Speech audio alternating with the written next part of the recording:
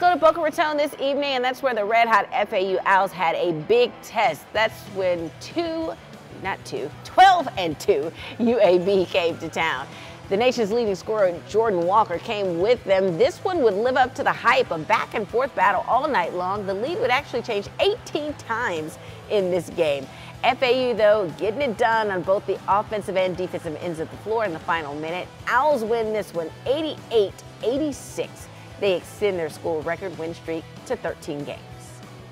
This is a group that deserves success. This isn't a, a, a, a, flash in the pan. This is guys. These are guys who work hard. They're talented. They're about each other, and all those ingredients. Usually, you put them in, in, in a bowl, and usually something tastes pretty good afterwards. Dusty May getting it done with those owls.